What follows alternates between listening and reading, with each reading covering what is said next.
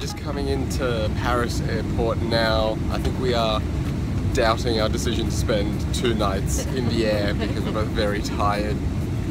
Um, but happy. But happy. The flight's actually not very booked out, so if you have a look around, there's not a whole lot of people. And it's also one of those old planes where we don't have our own individual screens or even modern things like USB chargers. There's the TVs up all over the place. It's now 7 a.m., 6 a.m., and we have to stay awake all day to get used to the jet lag.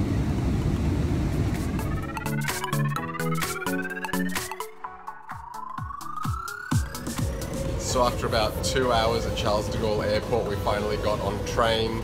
Took us a little while. It's a lot more confusing than we thought. And we are now on our way to Gare du Nord. While in Paris, one of the things I need to do is complete a France off challenge with an old friend of mine, Sam Thorpe.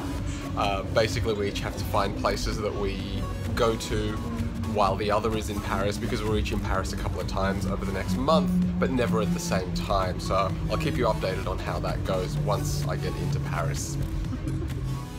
As Sam and I would not be in Paris simultaneously during August, but would still visit the city twice each, the France off seemed like the next best way for us to interact.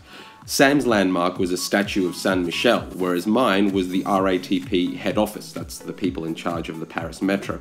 Each of us found each other's landmark, so round one was a draw. Having done that, Denise and I took the train to the Palace of Versailles with Thibaut, a French friend of hers that she met when he was on exchange in Chile during university a long time ago.